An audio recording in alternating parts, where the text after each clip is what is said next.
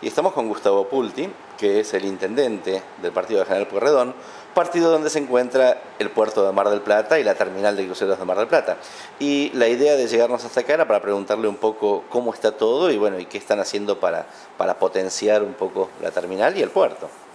Lo que estamos haciendo ahora, que es eh, eh, muy importante y determinante para la vida futura de la llegada de los cruceros en Mar del Plata, es el dragado del puerto. Ese dragado que fue requerido eh, no solamente por las compañías de cruceros, sino por todas las empresas navieras y por las pesqueras de Mar del Plata, que era imprescindible, se puso en marcha hace algunos meses y se viene llevando a cabo eh, de una manera ordenada y sistemática, de modo que el puerto pueda recuperar su enfilación original, que pueda recuperar su navegabilidad eh, con seguridad y con este, certeza para que programen sus, viejos, sus viajes las compañías de cruceros.